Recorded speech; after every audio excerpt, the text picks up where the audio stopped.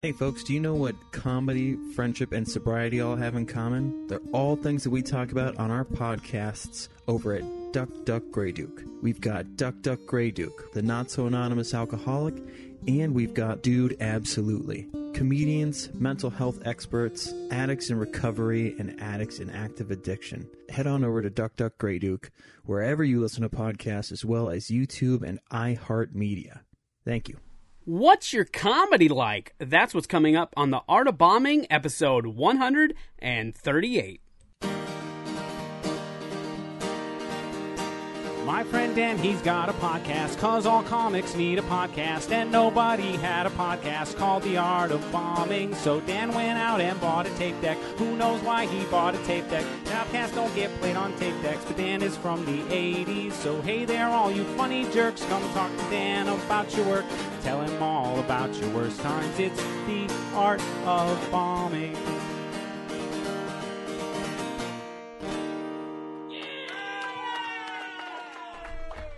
Welcome to a brand new episode of The Art of Bombing. I'm Dan Bublitz Jr. It is Friday, June 5th, 2020. I hope you're doing okay out there. I don't expect anybody to be doing well or doing fine or fantastic because a lot's going on in the world today. Uh, a lot of things are happening and have happened, and uh, it's been rough for a lot of people, but uh, in the long run, it's good. It needs to happen. Uh, we need to be uncomfortable for a little bit because the Black Lives Matter movement is important, and it should be important to everybody. Know, a lot of people say all lives matter. Well, not until Black Lives Matters. You can't put the cart before the horse. One has to happen before the other. Keep that in mind when you try to argue that phrase. Now, if you want to get involved and you can't, maybe you live in an area where you, you just can't get involved or you can't help. There are other ways, you know, you can donate some money if you, you know, there's the you can donate to the Black Lives Matter movement. You can donate to the Minnesota Freedom Fund. They help uh, bail out protesters that get arrested. Then of course, you've got the National Bailout Fund. You can donate to that. I've been personally helping with a new organization in the Twin Cities called Shea Cares. It is uh, it's a little community organization that was started by a Twin Cities comedian, Shea Webby. And uh, a lot of comedians in the Twin Cities have been involved in this organization, and it's great. Uh, she started a uh, pop up food bank to help people that were affected in neighborhoods that were uh, where the some of the rioting and looting took place, and so now the stores are closed and they don't necessarily have access to go shopping. They don't because uh, a lot of the public transportation is shut down right now, and they're doing a good thing. So I've been donating some money their way. I've been trying to volunteer when I can and help them with supplies and different things, and you can too. If you want to get involved with that organization, just look up Shea Cares on Facebook. You can look for Shea Cares on Twitter. Uh, and you can look for Shea Cares official on Instagram. There, if you want, if you live in the Twin Cities, volunteer. They're always looking for help right now. I'm not sure how long they'll be doing the food bank, but I do know that they're they're out there today, right now, on uh, in St. Paul at Lexington and Central.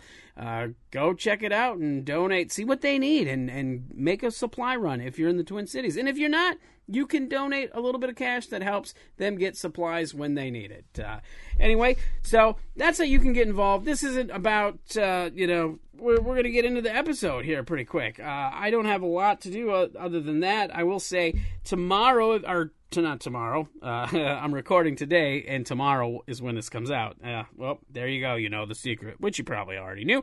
But uh, Friday, June 5th, if you're listening to this on the day that it came up, I will be doing a guest spot at a drive in comedy show at Boss's Comedy Club in Sioux Falls, South Dakota. Uh, several comedians will be on that. It's, I believe it's a little showcase, and it's going to be in the back parking lot of Boss's Pizza and Chicken. The, that's where the Boss's Comedy Club is located.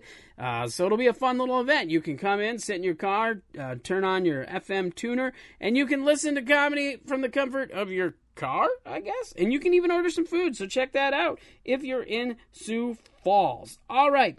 Today on the show, my guest is Zach Peterson. I did not even mention that at the beginning because I was, you know, there's other important matters to mention. Uh, but my guest today is Zach Peterson. He's a fantastic comedian based out of uh, Omaha, Nebraska. I believe he's lived in Chicago and he's lived in Los Angeles. And we had a great conversation about everything that's going on as far as Corona goes. This was uh, our conversation was pre uh, pre the uh, the George Floyd death and all the the police brutality that is coming to the surface and all that. So we didn't really talk much. Uh, didn't talk about that at all. But we did talk about coronavirus and how that's affecting things. So. All right, that is enough of this babble. Uh, check out the podcast uh, website, artofbombingpod.com. If you haven't already, make sure you subscribe, like, leave a rating and review. Say some nice words. I'd like to hear what you think of the podcast. I'd like to know if you think we're doing a good thing or, or maybe not. I don't know. I could use some constructive feedback. It's all cool. All right, so that's enough of my babble. Let's get into this episode. Here is my conversation with Zach. Enjoy.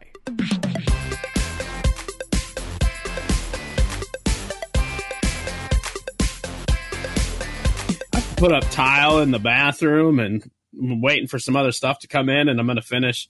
I'm putting up uh, some backsplash on the ceiling. We're going to paint it. We're putting in a new cabinet and I'm all pumped about this stuff. yeah, yeah.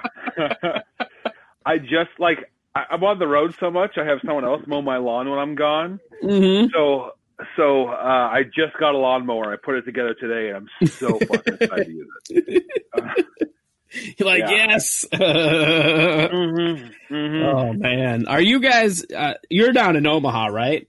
Yeah, yeah. All right. I I guess I'm I'm not up to speed with how Nebraska is handling things. Are you guys in like shelter in place and No, anything like? No. Okay. there's nothing. There's no rules. Oh, everything's just open. Oh, so it's a lot like South Dakota then, Yeah. essentially. Yeah, the it's a Nebraska, Iowa, South Dakota is just like, ah, do whatever. We don't care. You know, Like, okay. yeah. Yeah. Ugh. Well, look, we uh like the mall is open here. Oh Jesus. Yeah, like I drove by. It's like it's a fucking mall open. It's like yeah, and people are at it. Yeah. So, Yeah, I've had to go make a couple trips to uh, Menards, uh, you know, Mhm. and I'm I'm only going out when I absolutely have to, because I'm not I'm not a fan. I'm not even a fan of going out anyway. yeah, yeah, totally. anyway, dealing with people on the regular, so I try not to go out when I when I don't have to. But every time I go to Menards, I'm like, why are there so many people here? right? Yeah. and we're in a shelter in place. or you're in Minnesota, right? mm-hmm. Okay. Yeah, yeah. We're well now we're in a shelter in place until May 18th, and then they're they're loosening it up a little bit. They're hmm they're now we can do gatherings of 10 to start, and you know Yeah. small social distancing things, and slowly trying to see what happens and kind of work into opening things back up. You know, Mhm. with the with the the thought that if things go crazy, don't be surprised if we go back into shelter in place. But you know, Sure. which Sure. which hey, that's better than just being all crazy. I guess I don't know. Yeah. Well, we'll see. I mean, it's. I guess the whole the whole philosophy behind it is ignore it. Maybe it'll go away. It's like it will. It'll just take a couple years, I guess. But Yeah, yeah, You know, and we obviously can't do that. I mean, Mm-hmm. Doesn't make me like. I mean, I go to the grocery store and that's about it. Uh, I don't like. I mean, my my income was teaching stand up, performing stand up, and uh, you know, selling things in an antique mall. You know, like because I, I go to Mhm. thrift stores on the road and I'd find you know stuff like, oh, that's that's good. I can do you know make some money on that. You know, just it's just giving me something to do and like you know, not a whole heck of a lot of money, just enough to oh yeah, for sure. uh, justify, you know, just the health because, you know, it's all about having those little, like, little grasps of things like, ah, $400 there, $200 there, three, Yep. like, and just getting, stringing things together. So it's just another, like, sort of stream. So, but all those things are just gone now. Oh my god, I can't imagine. That's ugh, rough. Have you did any? Have you tried to do any of your uh, your comedy classes online, like doing No. a Zoom class or anything like that? I, I haven't yet. But Yeah. that's a good idea. I should, I should look into You that. But yeah, you should look into that. I mean, if you Mhm. were having, you know, if people are already coming to classes and stuff like that, there's a pretty good chance you could probably won't make a ton of money, but it'd be something. better than nothing, right? That's exactly right. Better than nothing, and uh, something to do. Exactly. oh yeah. Have you done any of those Zoom? Have you done any shows like Zoom shows or anything? I have done a few. I've actually produced a couple myself too. Like, Mhm. and uh, I did I did some that weren't great. and I did some that were all right. I mean, like I said, it it'll never replace stand up com live stand up comedy, but I mean Totally. it, it's it's a substitute for now. I mean, the cool thing that I've seen with it is that uh, you get to meet other comics and work with other comics from across the country that you Yeah. might not you might not meet otherwise. You know, so that's cool because there's there's networking going on there, giving you know Mhm. opportunity to kind of meet. So when things do kind of start opening up, when you're in their area, maybe that'll be a contact you can use. You know, yeah. um, so there's that, and like if the Zoom shows are ran good, it's they are Mhm. kind of fun. It's good to get that laughter. Like you can hear the laughter if you know. totally. So I now I've did stream shows where it's just like going to Facebook Live or whatever, and there's no no laughter, and those are really awkward. yeah, it's like I, I've done a couple of them, and the the most like unique experiences when like you are telling jokes and there's laughter, but it's not set for whoever makes noise is the Mhm. main image. So like you're, you're telling your jokes, and then your your fucking screen's just flashing like like different like you know people Yep. emoting like ha like ah like what the f-? it's it's it's odd it's it's different It's very odd. it's it's great to have the laugh. I mean, I I love like I would rather do a Zoom show than no shows. Uh, obviously, we're, we're we're working with what we have, you know. Yeah, And like I did, I did trying to adapt.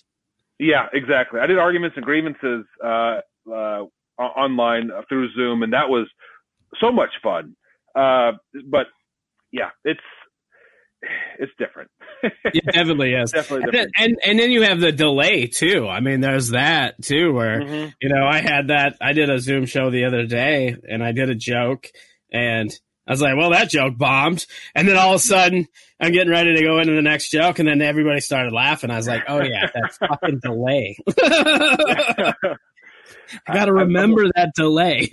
yeah. Oh, I'm I'm working on a on a new joke. Well, like you know, before we went into quarantine, I was working on a new joke, and it, it's very fresh. Probably done it like three or four times before uh, getting into getting into quarantine. Uh, so I'm still unsure about it. I don't know exactly. Like it's worked very well a couple times. It just sort of you know died on the vine once or twice. So I'm like, okay, is this a good joke? Like I'm I'm trying to figure it out, right? yeah, I still it's know. what- definitely hard to figure that Mhm. stuff out now.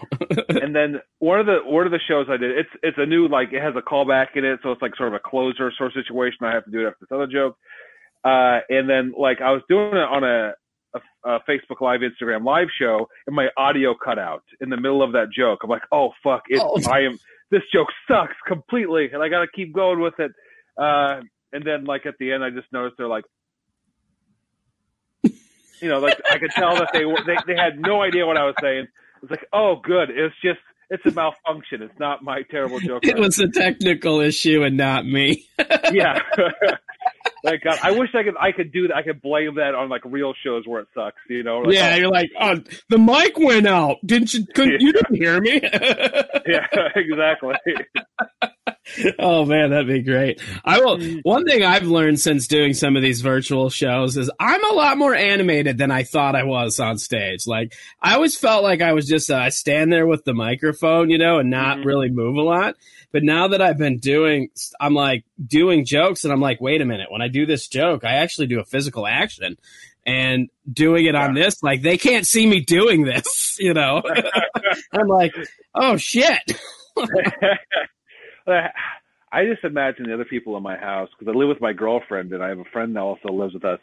Uh, and like, you know, my jokes are very stupid. Uh, like I have a joke about gravy and like, I'm just imagining like people passing by the room I'm doing it in and I'm just yelling about gravy. I'm like, fuck man, I must be a nightmare to live with. yeah. Uh, fortunately, I have my own little area upstairs where I'm, I, when I do stuff, I can just go up there. So I'm not bothering my fiance too bad. Yeah. even one show I even commented, I was like, you know, that sounds a lot different yelling in my room alone than to a crowd of people. I feel like a fucking psychopath. well, we kind of all are. I feel like Mm-mm. we're all, we're all jonesing for, for the, the, the affirmation and laughter and everything. Yeah. Well, when when we when we started going on shelter in place, like you remember the night that the NBA was canceled, uh, like all all flights in from Europe were canceled and everything. That was March 12th, and that was the second to last day of tour that I was on. Mhm.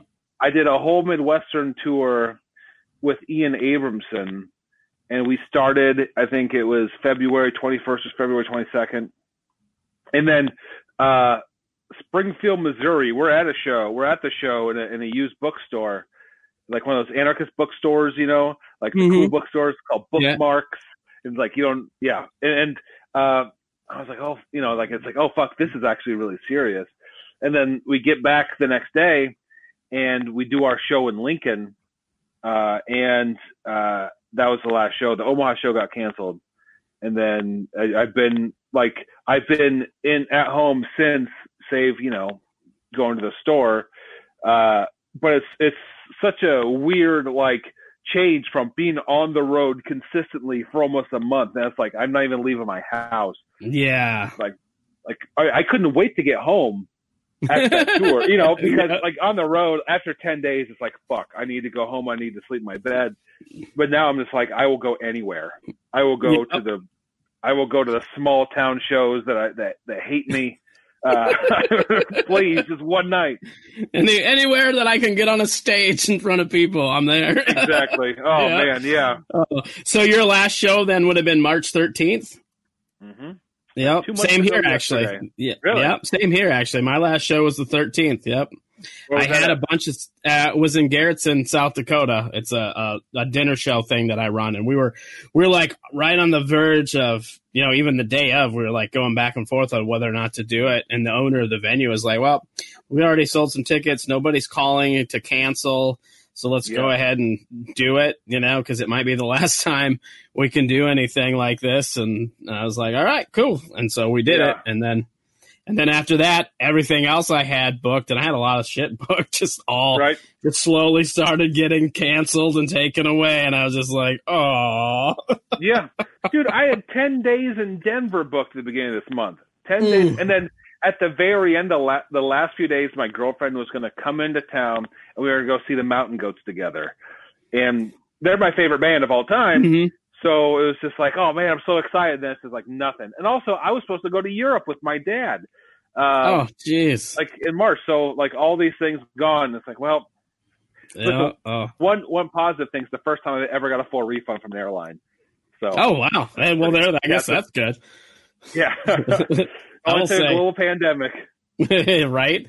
I was actually glad that uh, so I had uh, I had a dry bar scheduled to film in April, which got canceled as well. But I had not purchased my plane ticket yet, Mhm. and I was like about to, and then it got canceled, and I was like, God, I'm glad I waited. I'm glad I was a procrastinator here because then now I didn't I didn't have to deal with trying to get a refund.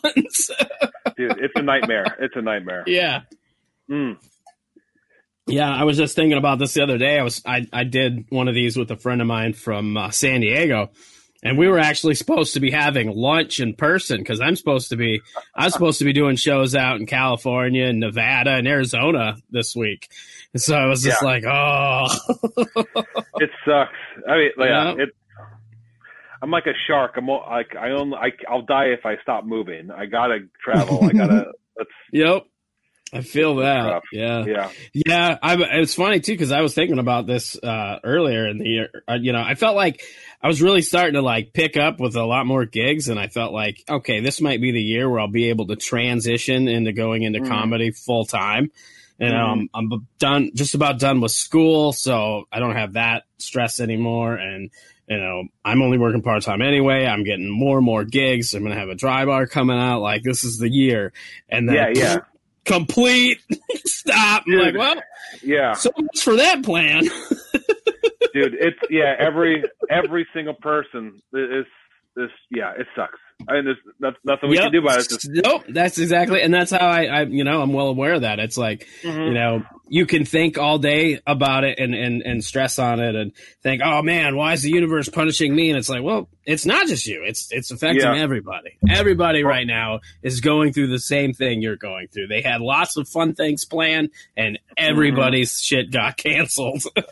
Yeah, it just feels. Yeah, it always felt like there's momentum. You know, like and like you were talking about. You feel like you're having momentum in this year, and like it always feels like you got to keep that momentum going. You got to get the, you know, calendar booked months out, and then it's like, man, you got to start from scratch and produce that momentum again from nothing.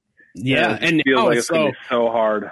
oh, and it's in it on and to boot with that, it's you don't know when to even you know like some places are starting to open up slowly, but Mhm. still they're limiting public gatherings, and now you know in our Yeah. industry.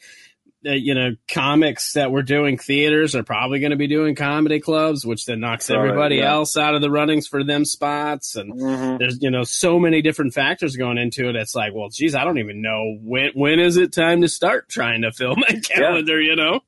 yeah, and as a promoter, I can't I can't call up a pal from LA and go, "Hey, come to Omaha. I can fill a couple shows for you," and you know, because I can't guarantee that, Yep. and no, I, absolutely. I can't risk them or me losing money at this. Uh, Mhm. You know, and it's it's not worth that gamble because like oh, absolutely not. I don't know, like what, like, regardless what I'm personally comfortable with, I think I may be more, a little bit more uh, trepidatious than a lot of people. Uh, but I, I, but if you know, if they're like, you can have comedy shows, I, pro- you know, like even if I said yes, right, then that would mean the venue would have to be cool with it, and that would mean the audience would have to be cool with it. Mhm. Like, and how do you say, let's pack this place when no one wants a packed place right now? exactly. Yep. There's so many factors involved with it, and too many Mhm. variables. So it just makes Yeah. everything so uncertain as to when you can even start again. Yeah, it's it's scary times, but we Yeah. got virtual comedy, I guess. hey, better than nothing, right? It's fun. I, I've been Yep. doing my podcast over uh, online too, and it's uh, it's nice because you can open it up to everyone in the country. You know, Oh yeah, absolutely. Yeah, I mean, there's this has been great because, and especially now that I have time too to do more of these. Like, I have a bunch in the bank, but it's been it's been good because I've been able to get people that I probably wouldn't have gotten on my podcast because they would have been too busy touring and stuff. And Sure, and when they were off from touring, they're probably not going to want to come to a podcast, you know, because that's like their day off or whatever. So Mhm. so in that respect, it has been pretty pretty good. So. Yeah, yeah, Um, but yeah, I mean, even you know, getting to do one with you right now, that's like one of them opportunities where you're always on the road, and you know, and then also being a comic myself, a lot of times it just things don't line up. Like you were here in the cities not too long ago, but I was Yeah, gone. on my tour you know I mean? Like, Mhm. yeah, yeah, and I was like, I didn't even bother approaching you about doing the podcast. I had thought about it, but I was like, well, nope, I'm not even in the area anyway, so that's too tight. Sure. You know, you know what I mean? So it's like, yeah, so this definitely is good for that. Now opening it up to where I can do these with people wherever they are. yeah. I'm stoked to stoked to be able to do it as well. Yeah, well, I'm I'm stoked to have you. So this has been great uh, catching up and talking about our, our state of comedy now. But let's, I mean, it's already dark, but let's get darker. Go into this the bombing part. Do you have a, a, a story of a time where you felt like you bombed really bad? Yeah, uh, there's a there. The ones that stick with me the most come with me like stick with me because they they came at such a point in my life where I was already down, right? And a lot of the time, no matter what is going on in my life, I can always count on like performing comedy to sort of bring me back up. Like, oh, I'm good at this. This is fun. I can do all that stuff. And uh, you know, and and that's always nice. But then those points where uh, you have a show and you're already down, and then you do fucking so poorly that you're just like, oh man, like not even this is bringing me back. Um, I did one at a, uh casino in Dubuque, Iowa, and as we all know, casino gigs are like. I've heard a couple. I've heard whispers of good casino gigs and like fun casino gigs, but I've never encountered. They're one. far and few between. That's for sure. I w- but I was, and here's the part. I was doing a competition casino gig, uh, which is, you know, still not great. And I, I was putting a lot of pressure with my, on myself to do well. Okay. So with that being said, a couple of days earlier, me and my now ex-wife split, right? oh So, no. like, yeah, I was just in the middle of a of a divorce, like freshly divorced, freshly getting ready to be divorced, you know, freshly on that trajectory of being divorced. And we, I, I do this. Um, I'm doing this competition where I feel like, okay, here's my way to get into some clubs and get some recognition, stuff like that. And uh, the theater, huge theater, big theater. There's probably hundreds of people there, but they're all tables spread out. So not it's not packed theater, it, but it's a huge theater, high ceilings. You know, not the best setup. And then so I'm nervous, so I start drinking, right? And, you know, and I just start drinking, like you know, and I'm not feeling great, so I start drinking more. So I get too drunk to understand what I'm doing. You know, like I'm I'm drunk, like I live like I probably had five or six gin and tonics, and like I get up on stage and I just eat it. I mean, it's it's one of those things where I don't hear anything, I can't see anything, and I'm just you just feel like you're standing there and all the all the air has been sucked out of the uh you know of the of the theater that you're in. And in a big theater. It's not like you know six people there and i'm bombing in front of six people because everyone's afraid to laugh. It's like there's people here and it sucks and this is the worst i've ever felt. And so you know it's just bad no laughs at all. It sucks.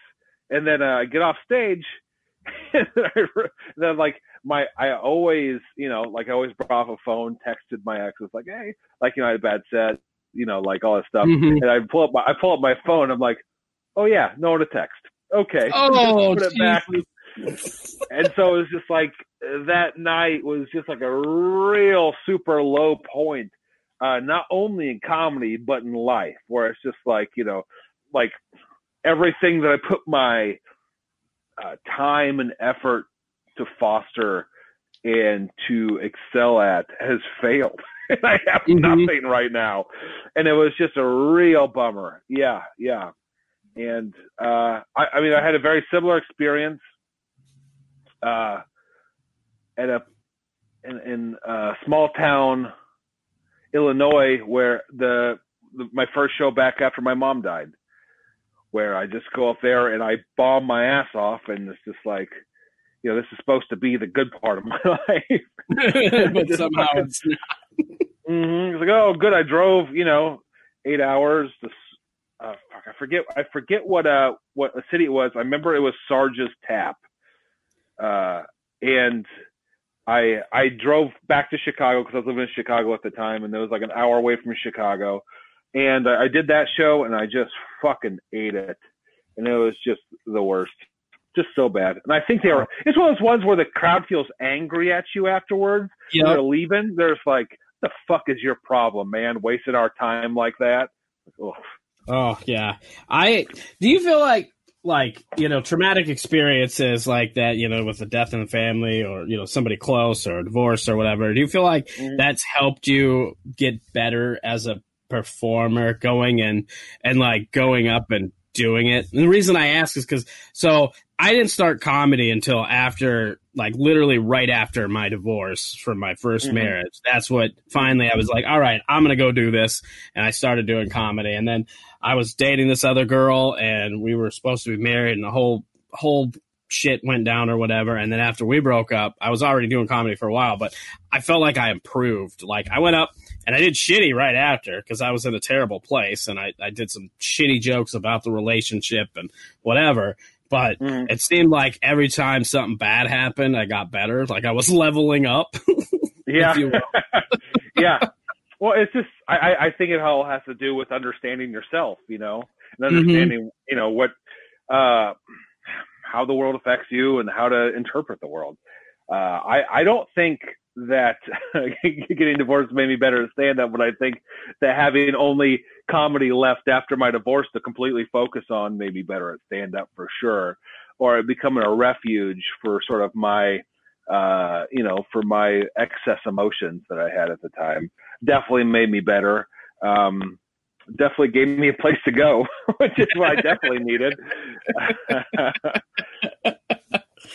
oh Yeah. yeah, that's, that's for and, sure and those ex- those experiences definitely have uh you know, but it, it's sort of- like whenever I get nervous, whenever I like I don't want to go on stage when I'm at a show or something, I'm always like, this is the job, you do the job. If you, know any other job you don't want to go in, you go in anyway. And I mean, I think that that has made me improve, sort of going on stage no matter what. You know, Mhm. like no matter how I feel, uh, if uh, you know, if I'm upset, unhappy, whatever, the show's not going to be fun. Or if you know, you've, you've been to those shows where it's like, ah, this show is not going to go well. Like no Oh, one's doing well. Yeah, and and so like, well, I got to get on stage, and it's like you do, and then, and when you when you go through these moments, I think this is true for all bombing. Uh, when you go through those, it's like, oh, it wasn't so bad. You know, like I could do that again. There's no real stakes here. They're like failure is just a failure, and it feels terrible at the time, but I'll Yeah, go home. What are you gonna do? Yep. yeah, Just tomorrow's a new day. Yep. yeah, Yeah, yeah, I totally, totally get that. It's, uh, yeah, I don't know. For me, like I said, it's just, it's like a weird thing. Cause I'm also very, and somebody else had pointed this out, and I, I'm trying to get better at it. I feel like I have, but like separating my day from my performance, you know, like if I'm having, if I'm having a bad day and I'm in a bad mood, you know, Mhm. there was times when I would go on stage and I didn't perform well. My, it, my mood kind of showed up showed up in my set. You know, like if I was Yeah. having a bad day, then my my comedy set wasn't so great because my mood was showing. You know, I was Mhm, grumpy mhm. or or whatever. Instead of going up and thinking about, oh, I got to do this as a job. I got to have a good time. This is what should put me in a good mood. Let's go have fun. I go up thinking, oh man, you- you're all grumpy or whatever. Um, yeah, yeah. Because you're supposed to like shepherd everyone into a good time. It's like, come with me, we're having fun. But when things are going bad, you're just like, ah, I guess, come on, get it. Yep. You know? Just get out of here. Uh, whatever. yeah, that's not as attractive to crowds to do. Yeah. Yeah. Yeah. That's something i've definitely been trying to work on improving trying to separate that you know and it's it's a lot easier to do when you're aware of it and sometimes that takes somebody else pointing it out and that's what it was. Uh, nathan Totally, holtz is the one that pointed that out. He you know Oh, he was sure. like yeah no i noticed you you know when you have a bad set it's because you were kind of in a bad mood before or whatever and i started thinking about you know times when i didn't do very well i was like damn he's right I'm, that is absolutely true Yeah. Yeah. Definitely got to watch that. Um, just looking at some notes here. Uh, which that is a good to- uh, good lead into the, the this other question about the bumming of bombing. You know, that dreadful feeling because you're talking about you know going through and everybody you know you bomb and you just you just what you do. But for the bumming of bombing, that dreadful feeling afterwards, how long does that typically last for you now versus when you first started? Because I'm sure it's changed over the years. Yeah. When I first started, it was just like I had to wash it off with another set, you know, where it's like, but then when I first started, maybe it wasn't a set for another three or four days. So, you know, like it'd stick with me the whole time. It's like I had to prove myself. I had to show myself that I'm, I was capable, uh, of having a good set. You know, it, it was, I wasn't incapable and this, this failure, you know, I had to wash it off me with a good set. And sometimes, you know, and now it's just like, I might beat myself up for maybe like a half an hour or like all I have to do is is verbalize it to someone else. If I really want to get over it, I go go, man, fuck, I, that sucked. Like you know, a lot of like I don't bomb as hard as I used to. Thank God. You know, where like it's just nothing. Where it's just zero. Oh yeah, time. absolutely. Mm, and like I, I'm pretty, I'm pretty rough on myself in terms of what I consider a good set. Because sometimes I'll be those ones where like all, all my jokes were hitting, but one or two didn't, and I'll be like, had that flat point, and I fucking hated it, you know, and I, I got really We're upset. very much the same. Like I'm, yeah. Yeah. it's It- it funny. be- I'll be walking off stage, cussing myself out because I missed one joke, and the audience doesn't know that I missed that one joke. They thought it was a great set, but in my head, I'm like, "You stupid son of a." yeah, yeah, I, I yeah. And it's like, well, how was your set? And then they, oh, you you did a great set. And it's like, well, that joke didn't hit. It's like, yeah, that's one Yeah. fucking joke. It's like, well, I like that joke. you know, like whatever reason, I'm focused on that Yep. joke. It's Yeah. sort of like you know, there's the there's the old axiom of of the uh, comic like seeing the whole place laugh, and then the person in the front rows just has a sour look on their face, and they focus on that person. It's Yep. it's the same sort of thing because I'm I'm focusing on the one or two jokes that didn't hit. Uh, but when I when I have a bad joke, when I like I mean a bad set, like a real bad set, um, it depends. Like if I can find something to blame it on, I will. Um, but it still sticks with me. Like if it's a, if it's not my crowd, right? Like sometimes they're just not my crowd. Like I don't do great with uh older folk a lot of the time. not all the time. Like I can get some older, older, some older folk would be great. You know, they, they love me, but uh, older rooms um, can sometimes, I don't know, they just don't like me. They don't, they think I'm too weird. Maybe they don't get my references.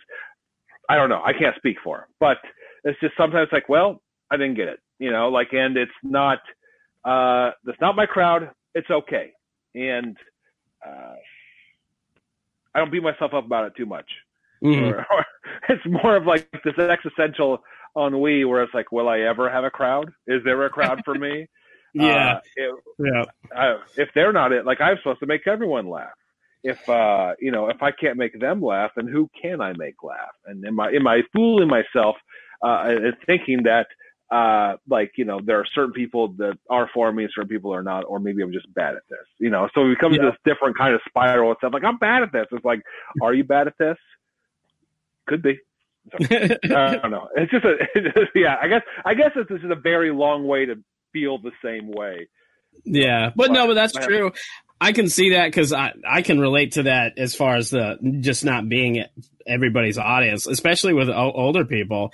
I don't feel like I do very well with older people, and I don't feel I do very well with like younger people either. Like, you know, and I'm like, do I have a crowd? Is my crowd just my age group? And that's not Mhm. good because you know it's all the same stuff. It's like, well, you got to make everybody laugh. You got to Yeah. got to be everybody's comedian, and it doesn't, you know. So what are you doing wrong? And I actually think about that a lot, like trying to figure Mhm. stuff out. You know, it's it's tough.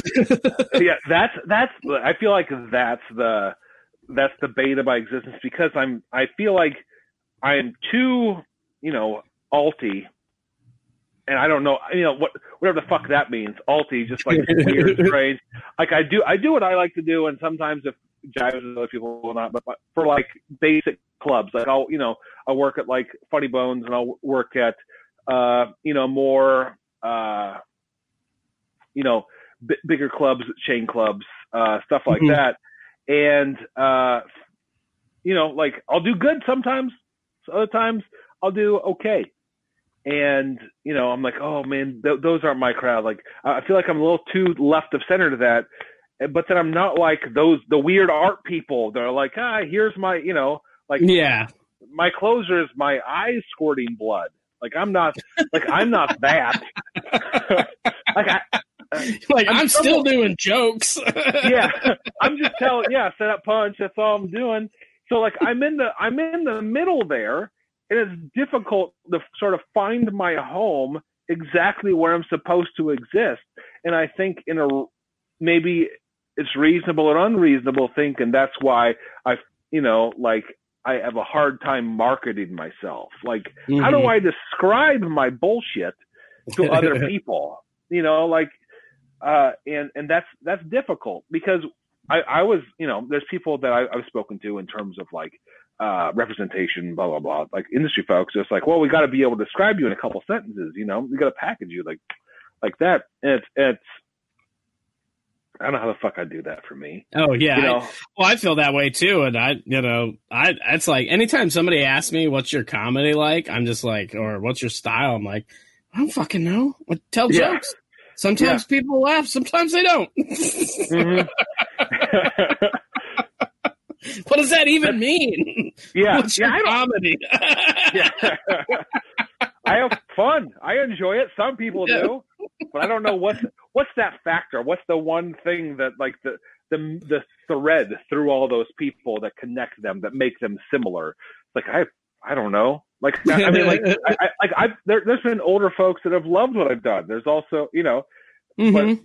uh, but like when I go to those older rooms, when I go into those rooms, like you know, vacationers, like there's a room in Michigan that I've done probably six times, and I'm not going to name it, uh, but uh, but it's I've I've done it like six times, and there's been four or five different kind of audiences, you know, and when it's old, I fucking bomb my ass off, but when it's younger, like then it's a fucking great time. And i can never like i'm like it's not the room. It's just like it's it, it it changes all the time and i can't keep up with it Yeah. Yep. Which yeah, it's it all about all about the people. I mean, at the end of the day, and it's hard to accept as a as a, as a comic that Mhm. at the end of the day, we're just not everybody's cup of tea. You know, some Yeah. people are going to like us, some people are not going to like our style of comedy because it's comedy's so subjective. You know, like Mhm. that's it's and it's all in what whoever's in the audience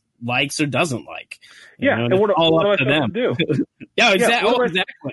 yeah, am I supposed to write different jokes for people that I don't agree with or what's funny? It's like I wouldn't be able to do that. I hate myself. Oh yeah, absolutely. Because then you then you feel like you're selling yourself out. Which yeah, mm-hmm. totally. I mean, there's a fine line between you know kind of adjusting your comedy to to kind of to a feel of a room, you know, like reading the audience before you go on versus just doing all the jokes, you know, changing your complete style just to Yeah. To appease what you know you think the crowd wants or whatever. Because yeah, because you then you definitely you definitely lose your artist integrity, and at the end of the day, then what's the point of doing this, right? If you're not doing Totally. it for a paycheck. Yeah, I'm definitely not doing it for a paycheck. yeah, No, Exactly. Well, sometimes I am. There's been no shows.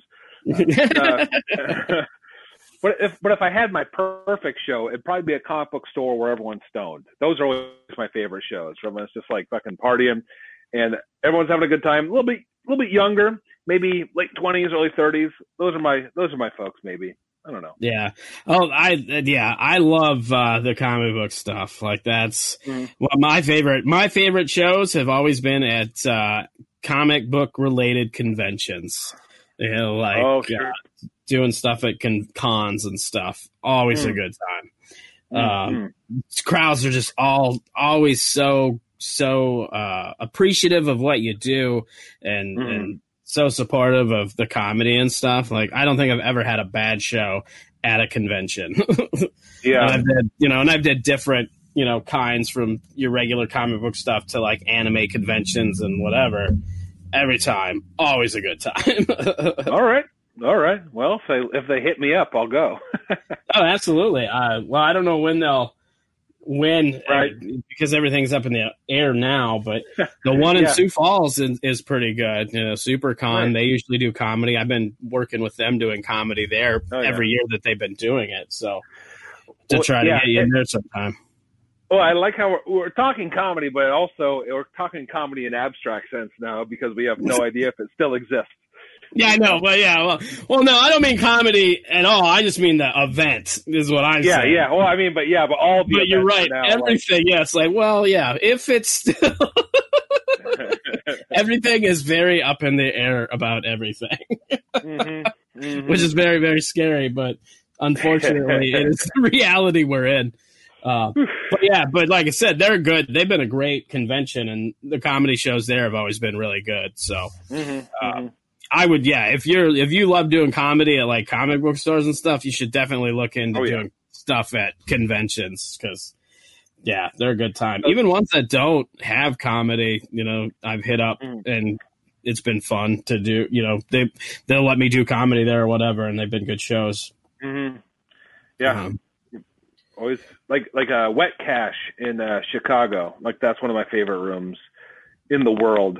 Um, else? Yeah, I mean shows like that. There used to be tons more, but mhm. those kind of shows, Yeah. everyone's just there and yeah, having fun. Yeah, I actually uh my one of my dreams, and it it probably it's unrealistic, but honestly, one of my dreams is to was is to open um like something like Meltdown, where it's a comic book Mm. shop and it has a showroom, and you know to do all that stuff because it like combines everything I love into one thing, and you know because I Oh. used to own a comic book store, so Mm. if I would have been in a comedy then, I would have already already tried that dream. oh man, yeah. Melt Meltdown was a great room. Like not melt. I mean, yeah, the Yeah, not, not the show, yeah. but the actual theater. Like Mhm. the uh, like because we had arguments and grievances there for about six months, and that was just so much fun. So no, no, Yeah. Unfortunately, I never got to perform there or go there. It uh, it closed before I was able to go up there, but I've always wanted to do something like that because yeah, Yeah. I'm I myself I'm a big comic book guy, so I love doing stuff at comic book shops and conventions and Mhm. that sort of thing. Mm. Um, when you do have a bad set, like what do you do to try to analyze and what do you try to to to get some takeaways to to do better the next time? Well, it's you know, it's I always uh, think about it like game tape, uh, like like like you watch, um, you know, like a football practice or a football where it's like, oh, the reason we fucked up, the reason we lost was for this. Like this, Mhm. this was where we got beat. So like I, I think about it in a way. Uh, it depends if, if it is an open mic. If I am working on something, then I have my uh, my notes because I outline every joke before I do it and like every beat, and then I'm like, and then I'll, I'll you know write a little note like you know rework this or this isn't clear or you know different punchline or something like you know change this like you know hopefully i understand exactly why the joke didn't work or at least Mhm. find its weak its weak points and then i can work on it and make it stronger uh but it was just like a, a set and the set didn't go well you know and, and if i'm starting off with something that i know works like something i've done for years it's like you know like that's my that's my opener and it works it works 90% of the time um, I'm probably not going to change anything. I'll try to like, I'll try to find out, was there a reason why it changed? Why it didn't go off as well? Did I come off too hot? Did I come off too, like, was I too laid back? Uh, was I, you know, did I, did I give them ample time to sort of suss me out and like start to like me? Was I likable? Was I, sometimes I can be more too loud. I can talk too fast. I can, uh, do these things. So, um, were those were those the reasons? You know, find the problem. I have to find the problem, and then Mhm. hopefully I can. If I can't, I go, well, fuck, that sucked, and I don't know what to do about it. Yeah. Well, I definitely feel like there are some jokes where if it doesn't, you know, you have a proven joke, you do it all the time, you always get a good laugh and a, you know, an applause break or whatever. Mhm. And then that one time it doesn't work. I'm like, well, that's a fluke because every Yeah. other time it works. So there's, you know, even if you find out what, what might have caused it that time, it might not make a difference in the future either, you know? Yeah.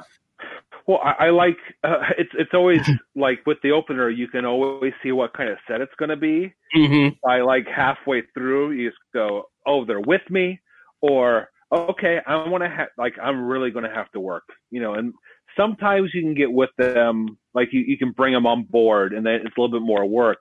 Uh, so you know, I, you shouldn't give up if your opener's not working. But you know, but the opener is like is a good canary in the coal mine. If they're right there right away, you're like, this is going to be a good time. And if they're not, it's like, all right, time to put in some work and actually like, you know, And when you you, do that, when you have a situation like that, what does that Mhm. mean to you? Put into put into work. Like some people, you'll tell a joke, and that kind of gives them a gauge of how the audience is. Where you know, like, oh, this is probably a conservative crowd, so I shouldn't do this material. I should maybe do this other material, or it kind of changes the focus on what kind of material they do. What? How do you take that? Like when you feel like, okay, I'm gonna have to work with this crowd. Yeah. Uh, a lot of time, what I'll do is um, I'll start like going off script, you know, like just start talking to them and seeing if that raises their uh, how how engaged they are, their engagement. Or uh, sometimes I'll be a little bit more uh, animated. You know, I'll I'll try to like you know get their attention in some way. Maybe I'll start going slower. Maybe I'll change my pacing.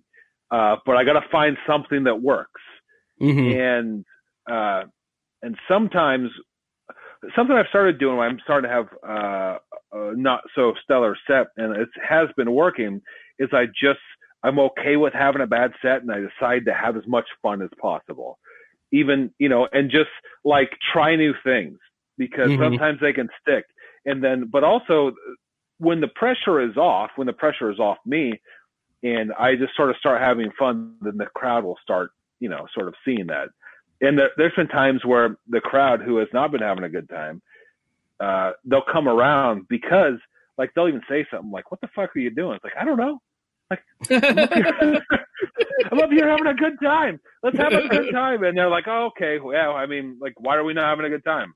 I mean, that that's happened once or twice, but like when when it is like obviously going to be hard, I you have to engage in some way.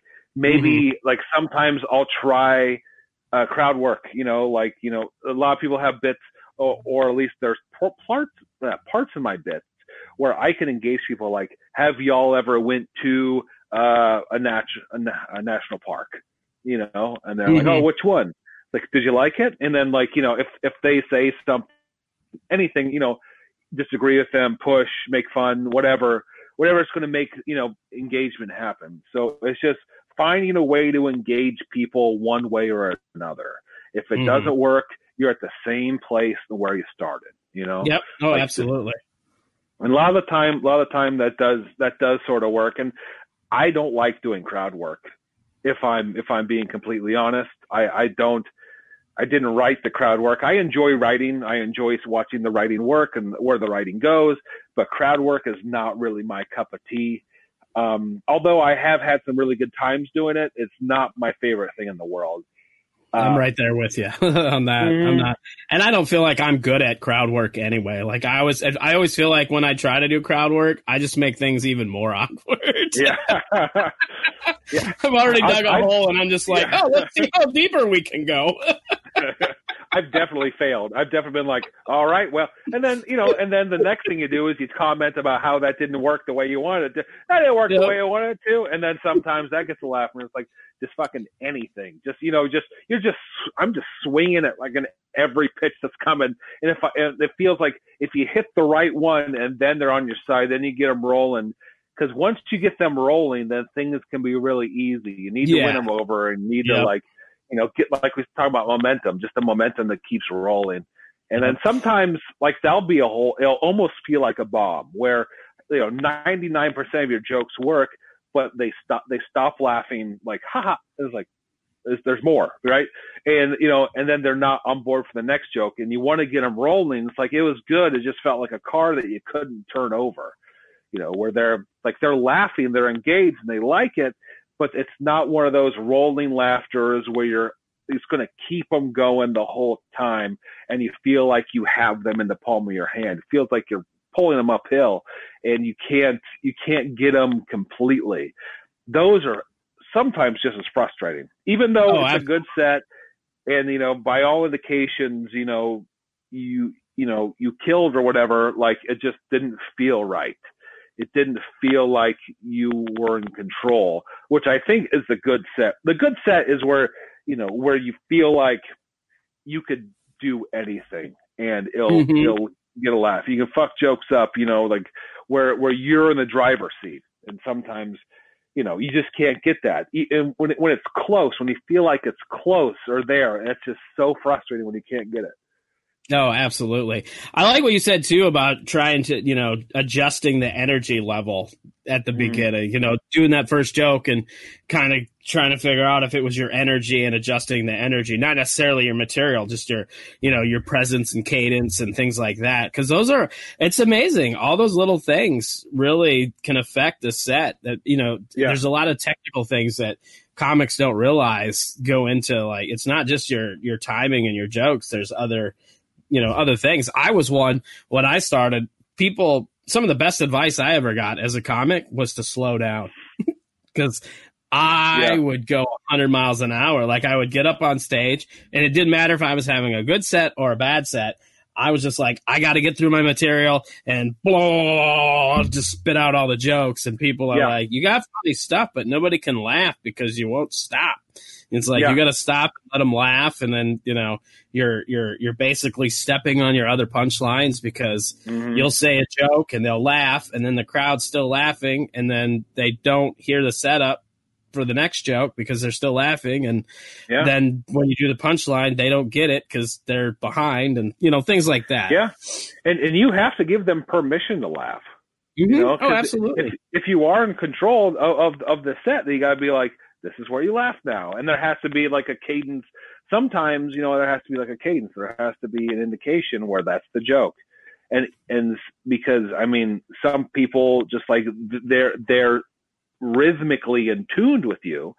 Uh, Mhm. you know, and they're and they they're listening, but they're not listening completely because I think half the laughs are rhythmically in tune, where like you stop, ha ha ha ha, and then like you know, some you know you know that you've gotten the applause break where it's like ha ha ha ha ha, oh, and then they like think about it even more, and then Yep. it's that it's that it, it's it's the the secondary sort of understanding that the joke was very good, and then within their whole body they go, now that was good, and then they start clapping, and that's why applause breaks are so great because it's like sometimes laughter is involuntary, but a, but laughter and like clapping that's involuntary and voluntary upon inspection. You know, so oh, absolutely. So, yeah, it's it's almost like you know uh, they they they're reappreciating it in a different way. Mm-hmm. No, that's really good. That's very true. Um, we're gonna start wrapping up, so I'm gonna get into some of the other stuff. Uh, we'll touch a little bit. What's your writing process like? I know you talked about outline outlining. Do you sit down mm-hmm. and write? Like, yes. you have? Yeah. Yeah, I, I sit down and um, I I probably write about four or five uh, of the joke before I perform it, and then and they go through different writing things where I handwrite it, type it, uh, outline it, and then I rewrite it and I rewrite it and I rewrite it and then I'll then when I go on stage, I have I have notebooks specifically for like uh, going on stage and my set list. And when I go on stage for an open mic, uh, I will outline every single beat, and then I'll put pluses or minuses by the ones that work and they don't work, and then you know then I'll, I'll find out where the strong and the weak parts of the joke. So I'll keep the strong, either rework or lose the weak, and then just only have the strong. You know what I mean? So mm-hmm. because I I always I go by the uh, philosophy that more uh, less is more, where yep. like the joke should be as short as possible. There's no reason to have any of the you know any of the extra stuff. I think about what information is needed for the joke to work, what exactly is I'm trying to say, and how can I say it as quickly as possible. That word economy is so uh, important to me because I want my jokes to be bam, bam, bam, bam, bam. Because uh, I think the rest is just filler, and uh, at least for me, that's not what I want. You know, and yeah. I think um, other people can do it their way, and that's great. You know, it's wonderful. There's a lot of like storytelling comedians that like to you know build tension and uh, create scenes and stuff. That's not me. You know. Mm-hmm. Yeah, I mean, yeah, it's definitely even comics that uh, that do storytelling can you know less I, I still feel like the less is more and there's definitely you can use some some word economy because I I'm I'm more of a storytelling person and when I start a mm-hmm. joke mm-hmm. I'm like wow this is way too many words like I it mm-hmm. always starts way too wordy and it's got to mm-hmm. be like cut way down and you know to try to get to where I'm going. I always think about uh Kurt Vonnegut wrote this thing on writing about uh there's two reasons to write sentence uh either to advance the story or reveal something about the character. And in terms of joke writing, it's like there's two reasons to, to uh, write a joke. I mean, write write a sentence, and that's to uh, reveal the information that's needed for the punchline or the punchline. Yeah, so yeah. I, I think so. I just think about each sentence and everything I'm saying. What purpose does it serve? Does it serve the punchline? And if it doesn't, then I probably don't need it, right? Mm-hmm. No, that's so that makes that makes a lot of sense. And that's and that's essentially what I have what I do with open mics in my writing process is eliminate everything that's not funny. I will just like write for a lot, you know. And it, it's not up to me what's funny because you know, like if if it was up to me what's funny, then man, it would be comedy would be so easy. like, right? yeah, but I don't get to decide that. Unfortunately, none of us do. It's always them damn right. audiences. yeah. People I wouldn't even hang out with. yeah, right. you, can, you can tell me about my self worth. Oh, oh boy, you know. But oh, that's funny. Do you have any? I, this is kind of an odd question now, being the how things are. But do you have any short term and long term goals for comedy? You know what? I don't know yeah, uh, well, that's I, right now. That's a fa- that's that's a fair response. yeah, um, like everybody's goals are kind of like on hold. yeah. I mean, move, moving to moving back to Nebraska because I lived in Los Angeles and uh, Chicago for about the past eight or nine years, and I moved back to Omaha about this last year, and sort of like I'm gonna figure out what I want to do because uh, I'm on the road all the time anyway, and uh, it's so much easier and cheaper to live in Omaha, mm-hmm. and I can mm-hmm. just be on the road as much as I po- much as I possibly would want. And um, right now, the road seems incredible, and I'd love to be there. Uh, but you know, like I don't know, I don't I don't know what I want. I, I definitely want to make, keep continue to create stuff, uh, uh, whether it be you know writing scripts or you know sketch or whatever, and I want to continue performing for sure. It's just a matter of do I want to you know continue to put all my effort into it, and right now I feel like I do. Mm-hmm. But moving to Omaha, it's like okay, this is where I'm going to figure out exactly what I want to do for the long term, Yeah. and I have no idea because Yeah, I well- took yeah I, I- took the winter off, and I was like I want to see how it feels to be home for a little bit. And then by the end of the winter, I was like, I need to get on the road. And I got on the road, and then and then it's just like come home, and it's like, well, you're not going anywhere. I was like, okay, well, so I don't know. Um, I, I feel like there has to be a sense of normalcy. There has to be a future that we can all agree on is going to happen before I can really understand that. Uh, and I'm not one f- for really making future plans. I think you know you got to live in the moment and appreciate the moment as much as possible. And Yeah, that's I totally agree with that. I, I- especially I right now. Oh yeah, absolutely. Uh, yeah, I think too. d- d- I, you moved back to Omaha. How do you feel about that? I feel like because I the reason I asked because I lived in California for a while, you know, Yeah. and working the road was something I wanted to do more of, and to me, it made more sense to live in the Midwest. That's why I moved back. I was Yeah. like, well, you know, because I a lot of when I decided to move, a lot of my friends were, why don't you go to L.A. And I was like, well, I want to work the road, and it just seems, you know, it's more economically makes more economic sense to move to the Midwest, and that's why I did. hmm hmm Yeah, I mean the the coasts are great when you want to, you know, when you want to hit the big time, the quote unquote big time. But if you Mhm. want to do the, if you want to just work, you know, then the Midwest is the place to be, in my opinion. Um, now I don't know, and there's a lot of sacrifices you have to make to live in the in, in, on the coast, and I don't know if I want to. Um, and and I, I I think it's a value judgment in terms of what's important to you and what's important to doing comedy. Is it actually doing it, or is it doing it in a certain way? And I I think I'm still figuring that out exactly. Mhm. Um, I mean, if I if if comedy, if stand up comedy is the most important thing to me in the world, as it was at one point in my life, then I wouldn't be living in Omaha, Nebraska. Uh, I would be I would be elsewhere. Uh, so I mean, because I put I put all my all my chips in the comedy for years, and I, I would I, I don't regret it. I would do it again. I loved it, and sometimes I want to do that still, but uh, I, I think that there is more that I would like to focus on for the time being, and that doesn't mean the comedy will ever go away, or I'll stop doing it in their respects, and hopefully I I can do it at a high level. Uh, but you know, like I think that my current situation gives me more of an opportunity to explore those other avenues, and that and that isn't uh, outside of comedy. I mean, there's other skills and abilities that I can do from here, and, and, and things that I can work on from here uh, with a lot more freedom uh, in, in a lot of different ways. Uh, freedom Oh, in a lot of different ways in terms of like you know, like time, money, resources. Mhm. You know, the ability to film places without paying an arm and a leg, that kind of stuff. Yeah, yeah, right. yeah, Mhm. that's the nice thing about living. There's not a lot of uh, not a lot of uh, licenses and fees and things like that required to film at places. It's more of a Mhm. just getting getting permission from a business owner or, or whatever, you know. Yeah. I mean, here you can you can create, you can work, you can do all those things you want to do. The only problem with that of doing it in the Midwest instead of, instead of the coast is that no one really notices. And Yeah. I mean, like we we could we could sit here and talk about and argue if the internet has changed that, but it really hasn't.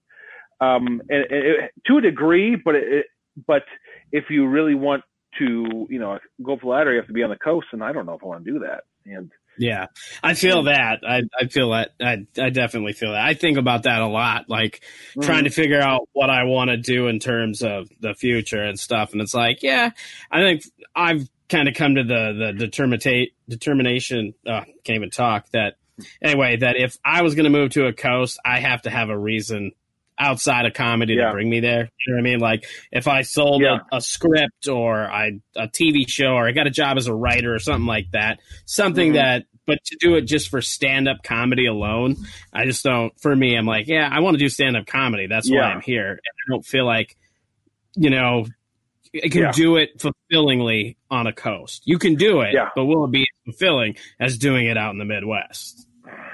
Yeah, I mean, you don't you don't get much you don't get much stage time in Los Angeles, like anyone No. does, unless unless you've already made it to that plateau. Yeah, of where you wanna absolutely. And Yep. that's that's that's the problem. So I mean, and that I I love stand up. I miss stand up when I moved back to Chicago, and uh yeah, because I think Chicago's the best place in the world to do stand up comedy.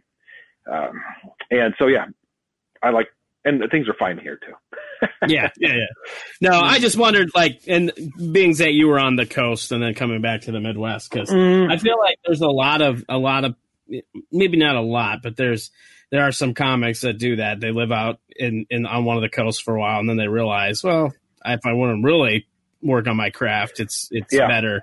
But when you're out here, when you first start, you're like, if I want to get better, I got to move to the coast. You know, like that's the Yeah. immediate thought. well, if I wanted to work a full time job and sit in traffic for three hours a day, then I would love to live on the coast again. Uh, love to live in LA again.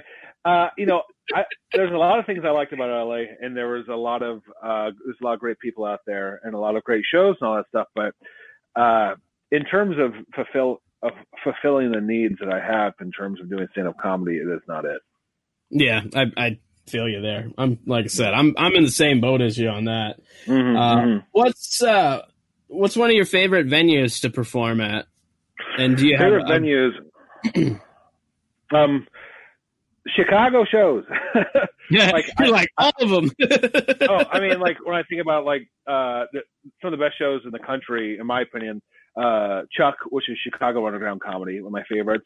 Uh, Comedians You Should Know, that Timothy O'Toole is every Wednesday. That show is just just incredible. I love uh, Wet Cash, uh, which one of my one of my best my tour my tour pals, uh, Jacob Lowry, uh, helps run at Dark Horse Comics, Dark Tower Comics. It's dark and it's a comics. uh, but there's but there's just a lot of great shows uh, there, and then any of the don't tells. Oh, I love the Velveeta Room in Austin. Um, Don't tell is like blown up. Uh, I, mean, run the one here in Omaha. Yeah, yep, I saw that. Mhm. Yeah, and then uh, Casey Flesh runs the one up here in the Twin Cities. But it's Mhm. crazy that that went from just like a little show out on the in California to like a national brand. You know, Yeah. that's what's amazing about it. Well, I mean, all the, the the dudes that run it, they can pack your show if you have a show and you and you have good comics, so people keep coming back. oh no, absolutely, no, they're doing it right. Whatever Yeah. they're doing, it's amazing. But it's just so mutually beneficial for everyone involved. So it Mhm. like so it just blows up because the crowds have a good time, the comics have a good time, the promoters have a good time, and the people uh, out in California are having a great time setting them up and making money. So Yeah, right. Mm-hmm. No, that's awesome. That's awesome. Do you have a, a a a gig like a favorite gig that you've done so far? Like, what's your oh like? Um, Because I like to I like to go out on a positive note. So yeah bring yeah. it down. We talk about worst gig. Well, what's what's been your favorite gig so far? Oh, um, I mean, my favorite show. Geez, I don't know. Um, there's been there's I mean there's so many I, like that I that I have so many like uh. I mean, it has to be one of those Chicago shows where just like that, you have a great set in front of a packed house, and or maybe uh, I debated Joe DeRosa at uh, Meltdown for Arguments and Grievances, and that was a lot of fun. Uh, and that was like I, and I had a great set and I almost won. Uh, but I have my theories about that. And it's the other producers I worked with. They they wouldn't let me win. Because they thought it was hilarious, but my record of doing it like 20 times, I only had two wins in like three years. They're like, you know what, we're gonna, whatever. That I'm not bitter about it. what I Not bitter at all. maintain that, that I maintain it is not a loss, but rather a moral victory. Uh, There's some Um, there were some indiscrepancies in that law. Uh, oh man, probably maybe one of the times at Fest down in Gainesville. Uh, oh, uh, Limestone. Anytime in Limestone, I got to. Yeah, Yeah, I mean, I, that, that's going to be an interesting thing now. With you know, Mhm. there, there's been a lot of comedy festivals that have popped up in the last few years, and now, Yeah. like that's that's going to change tremendously on whether or not yeah. you know Well, that's I mean, we already announced for Snow Jam. We're not doing Snow Jam next year. We're, you know, we've we're going to take the year off because we're like, well, yeah. it doesn't, you know, a lot of comics aren't working, so they don't have money to go travel and do things like mm-hmm. festivals. And then on top of that, you, when especially in our case, we're we're a charity, uh, you know, so we're we're a community event. We need the community. Well, the community's mm-hmm. already hurting, so like, there's all these factors. So, yeah, yeah, I got I got accepted to a, a first year comedy festival, and they're like, well, we might have it. I'm like, all right, well, I might be there then. we'll see. yeah. Yeah, it'll be it'll be interesting. Well, I, I, and I see some people, some of them are doing virtual comedy festivals, so we'll see yeah, what happens. Mm-hmm. Yeah, it'll be interesting to see. Hopefully, I mean, I don't, I don't ever want to see anything comedy related go under. You know, like it's like one of them yeah. things. Like I want all the comedy to succeed, but mm-hmm. gotta mm-hmm. fingers crossed that they do, that they make it out of it. Yeah. Uh, the last thing, a couple more things. Uh, this kind of ties into like favorite gigs and stuff. Uh, and this can be personal or professional. What's something you're proud of, and what's one of your proudest achievements? Uh, um, I'm just happy I can do comedy. You know, I'm just happy that I'm able to tour and I'm able to uh, essentially make it mostly my job. Uh, I mean, that took a lot of work, took a lot of dedication. Um, I I'm happy that you know I'm fairly well uh, received a lot of times. Um, I don't know. Uh, the Comedy Expo that I ran in Chicago for three years won a you know won a bunch of awards. Local media there. Uh, Arguments and Grievances won a bunch of awards. We ran it in Chicago for a while. Um,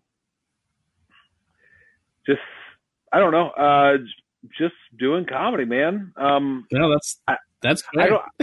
I don't. I don't think I've reached. You know, I've reached the the mountaintop of what I've. You know, I've set for myself. Or you know, I don't have this thing that says I did it. You know, like the. Yeah. Like I, haven't, I haven't. I haven't done the. uh Like, but but I but I am pretty pleased with uh with what with what I have been able to accomplish. You know, although you know some might consider it meager. Uh, it's still like when I set off to do it and where when I started, how little there was available to me, and like, you know, like I'm really happy with it, and I'm I'm stoked. I'm stoked the things that comedy has given me. You know, uh, mm-hmm. the ability to, to travel around the country and you know do cool shit with cool people and meet meet and I just have good experiences. You know, I'm really happy with how how that's turned out. Oh, that's that's beautiful. That's a good way to look at it. The final thing I like to leave on a, a more a, a silly note, if you will. Sure. And I have this thing called pick a number, and you're going to pick a number between one and twenty, and we're gonna, and then there will be a, a random question attached to that number. All right, let's do twelve. Twelve it is. All right, your question is uh, the best piece of advice you've ever gotten. Uh, I don't know. Uh, uh, uh uh, pertaining to comedy? Can be any. It can be whatever you want it to pertain to. oh man, I don't know. Uh, let's just do comedy because that's where my brain's at right now. Uh, very early on, my buddy uh, Nick Allen, who's a great comic here in Omaha, uh, said, "You want people to follow you into a dark room." You know, and I think about that when I get on stage, right? About how, uh, you know, no matter what you say or do, you're going to want people to follow you, you know, so it, so you need to be likable. You need to be liked and the, the audience doesn't owe you anything. So just, you know, bring them with you and always have them come with you. And that's, that, and that's, I mean, that's sort of reframed my thinking because I think a lot of, a lot of uh, comedy can be real selfish. Like I deserve these laughs for this, whatever. It's like, no, you got to bring them with you. And if you could do that, you can follow you into a dark room, then, you know, you can do, you, you know, then if people like what you're doing, then you can just do it. No, that's really good advice. That's a really good uh, perspective on that too. Mm-hmm. It really is because it really is. That's you know, you like you said, there are a lot of comics that are like, well, you just need to laugh because it was supposed to be funny or whatever. But you're right. I mean, and that's how I, I kind of view, you know, I view comedy. It's a journey, and you're the leader. Mm-hmm. You know, you got to build trust with your crowd so that they will follow follow you on the journey. They'll go that's with it, you from yeah. point to B. And if that's a you, huge part of it. Yep, it really is. All right. Well, where can people find you? Um, well, I am at uh, Mr. Zach Peterson on Twitter, King of the River Peterson on Instagram, uh, ZachPetersonComedy.com, all my tour dates, or the you can go look at my tour dates and what I was supposed to be doing these past few months. Uh, I haven't done any of it, and I don't know when the hell I'm going to start again. Um, so, uh, also anything like Broken Magic comedy on Facebook, um, Instagram, and Twitter, uh, and brokenmagic.com. That's where like all all the projects I do, all the umbrella, uh, like the umbrella of the videos, Mhm. um, pro- show productions, podcasts, and everything. I do a podcast Aren't my you guys brother. doing uh, albums too? Yeah. Oh, yeah. I released No. David Van Huysen's uh, debut record, Barn Door Open, on Broken Magic Records. Um, debuted at number one on the Oh. charts. Awesome. Yeah, yeah. So I'm I'm pretty proud of it. That's one of the accomplishments. I'm happy that Yeah. I helped helped release a uh, uh, a comedy album of of someone. We went to number one, and then uh, I, I have a podcast called The Doom Room with my brother Francis. We talk about movies, and you know we're uh, long story bet- between me and my, my brother Francis, but uh, we're, we have a lot of fun, and it's really funny. And uh, you can find that on brokenmagic.com, Spotify, and Apple Podcasts. Excellent. All right. Well, thank you, Zach. Hey, thanks for having me. I had a great time. The Art of Bombing is a Blitz Entertainment production. Hosted and produced by Dan Bublitz Jr., The Art of Bombing intro music was written and performed by John Holt. All other music used in this podcast was under the Creative Commons license.